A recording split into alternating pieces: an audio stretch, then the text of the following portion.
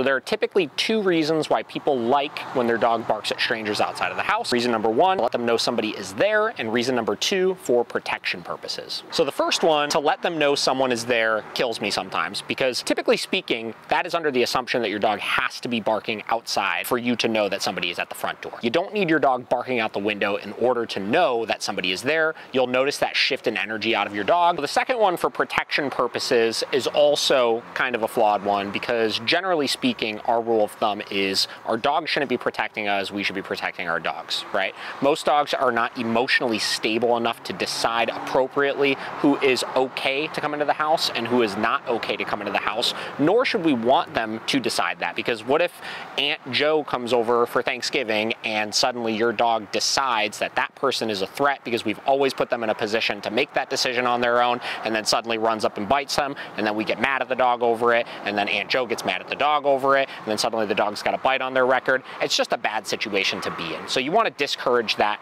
overall. Most of those dogs are genetically pretty insecure to begin with and they're not actually protecting you or your household, but they're protecting themselves because they feel like they're on their own and they feel like you're not handling situations for them. And lastly, you're not going to kill your dog's natural protection instinct, if that's what you want to call it. Dogs sense when people are in control or not in control. So when you have things situated and you're under control and you're ready to address things when people are outside or guests are coming over or things like that, you'll be able to keep your dog calm and focused. But in a real life situation, if in the middle of the night there's a crazy noise outside or suddenly somebody's breaking a window at your house or something like that, when your dog senses you are not in control, they sense that adrenaline spike, they sense that energy spike, they'll typically react accordingly and start barking or looking intimidating or going back into that self-preservation mindset that they have. So you don't have to worry about totally killing that. It's not gonna happen. So hope that helps.